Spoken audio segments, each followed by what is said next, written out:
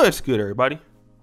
It's your boy, O'Shea Duke Jackson, back at it again with another episode of the Celebrity Junk.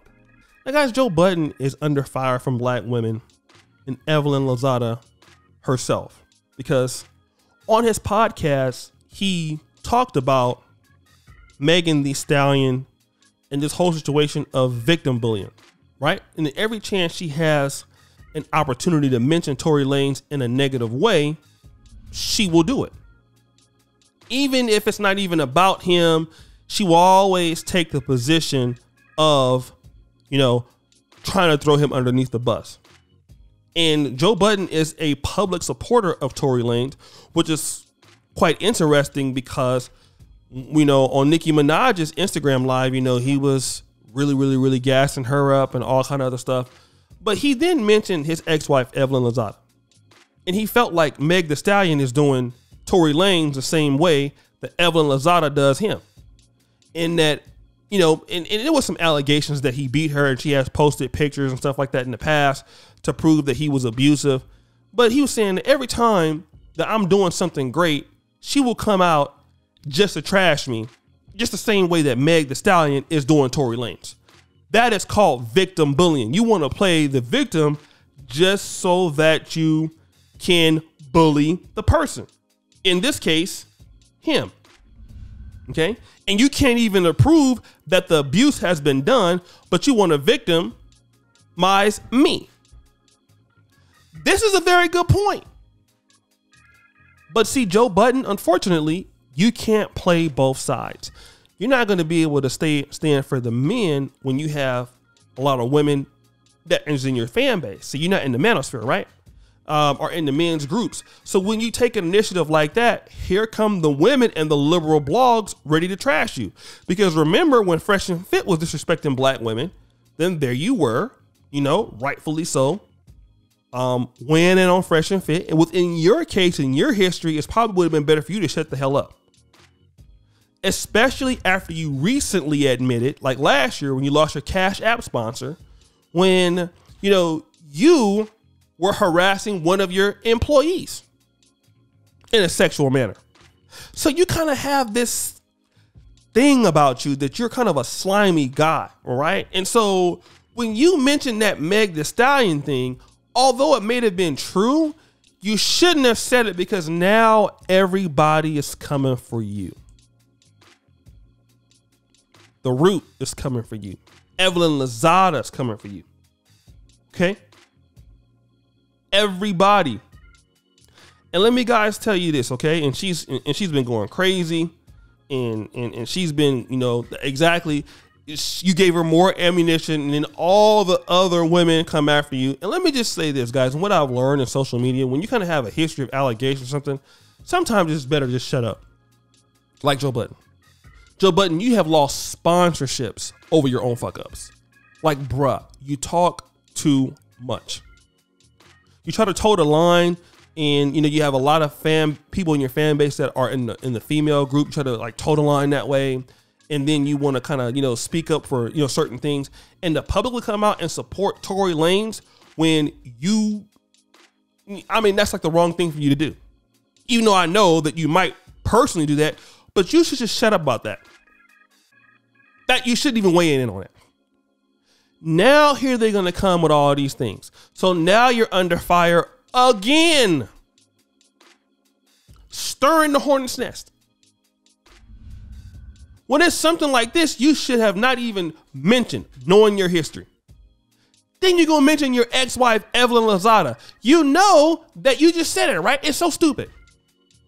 Every time she gets a, a chance to abuse me, she does. So why would you say that when you know that she's going to come out and say something? Now everybody in every blog in America is talking about you. So either you wanted the views or you want to be painted another light. Like every every every news about you ain't good, bro. Like let me just say this. You have been losing the bag. I know his podcast kind of like, you know, came up um, I know he lost Rory and Mal. I think that Rory and Mal have shown that Rory and Mal are not an A-list podcast group. I think, you know, Rory and Mal, they're okay. In compare, you know, they're not like um Joe Budden or anything. I think that Rory and Mal kind of maybe have shown that that you know they're not on that level. But you messed that up. All right, like Rory and Mal, like they they're not the truth like Joe. I got that now. All right. But what I but what I want to say, man, is why don't you shut your goddamn mouth? Sometimes, let me just say this, guys. With certain things, when it comes to certain, you know, groups or certain issues, when you're a, a, a you have a, a name like Joe Budden and you have some of the things that's alleged against him, bro, just shut up. Like you're not gonna win that war. Nobody ever is gonna take your side. And if you publicly supporting Tory Lanez with a platform like you, you got endorsements and things. You're not you're not Joe Rogan. Like Joe Rogan can say what he want to say about Amber Heard, bro. You don't come from that same kind of community. You have a lot of people in the urban community, and in the urban community, female dominated, bro. We already know. Any little thing that you say, especially, it's not like Kevin Samuels. Kevin Samuels has a really, really strong male audience. He also has women that support him too. But we but I will believe the majority of Kevin Samuels supports comes from from the men. It's almost obvious. You can't say that. Okay? You can't say that.